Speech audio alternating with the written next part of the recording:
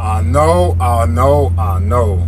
Y'all want to know what happened with Tina. I'm going to tell y'all. They say never say never. I say never tell me what to do. A person will never put you in a position above them. That's never a lie, always true.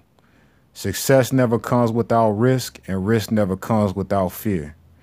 YouTube is a smoke and mirror, never how it appear.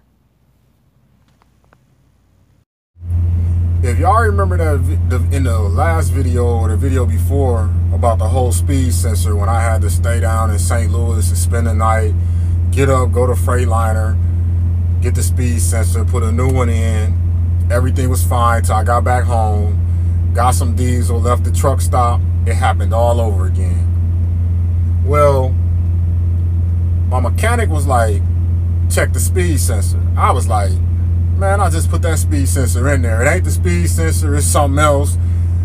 I didn't check the speed sensor. I went and dropped my trailer. I took it right to the shop. A few hours later, he sent me a picture. He sent me a text and he was like, go pick up a speed sensor and you'll be fine. I'm like, why would I need another speed sensor when I just put that speed sensor in there? So he sent me a picture of the speed sensor and this is what it looked like.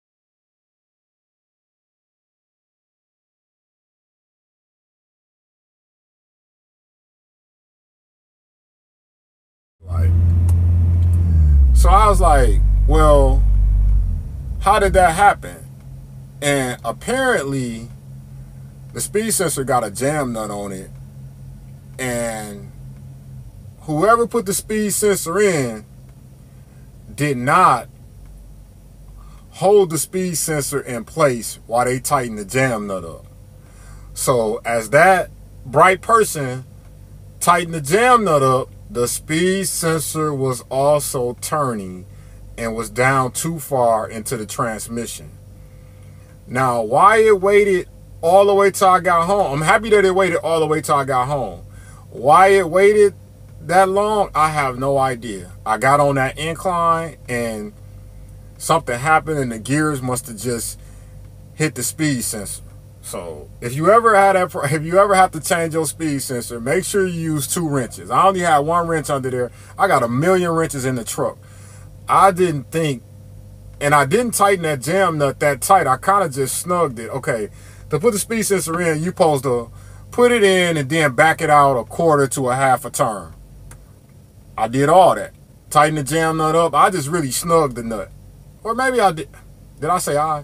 The person that's put the speed sensor in said they just snugged the nut.